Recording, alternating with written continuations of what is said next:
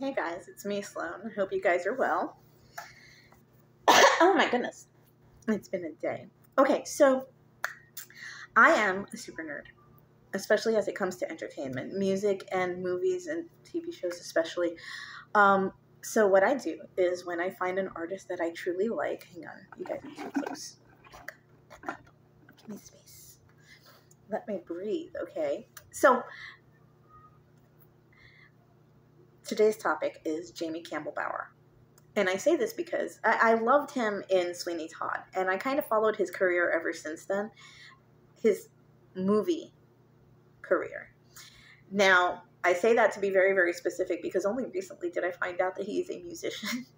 I don't know why I didn't think of this to begin with because, hello, he was singing in Sweeney Todd. And most actors and creatives that are in that field are in both music and film. So um, I came across some of his music on YouTube and I realized, damn, that man's voice is amazing. And he can play guitar and he's good. That's impressive and frightening because people like this are beautiful, talented in one thing, talented in another, talented on pretty much everything that they actually put their hands on and it's unnerving because as a creative myself i'm not good with guitar and i'm okay with singing and and and you know i'm just not a jamie campbell bower kind of person but i can write. So there is that. So i'm i'm kind of talented in the one field and the rest of them i'm just eh, meh, you know? So it's disturbing. It's very very disturbing. So i found his band counterfeit and they're pretty good him and his little brother.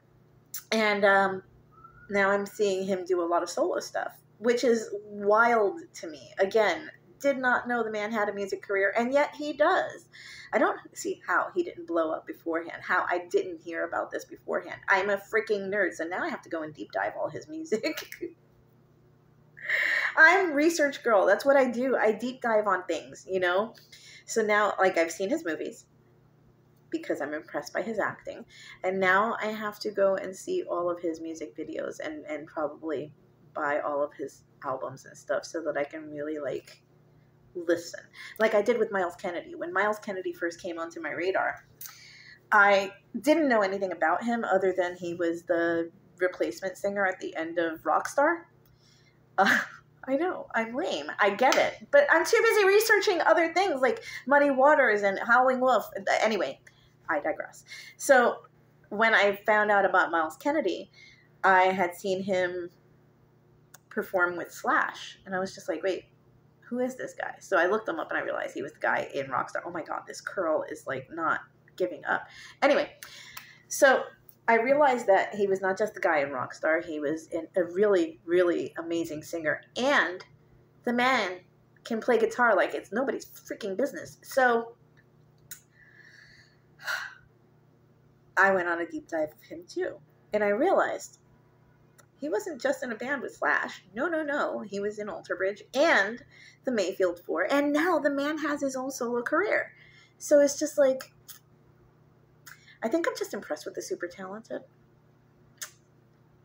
Yep, that's what it is. So I'm going to go binge watch a whole bunch of music videos now. I hope you do the same and figure out the things that I've been figuring out. And I'll talk to you guys soon. Bye.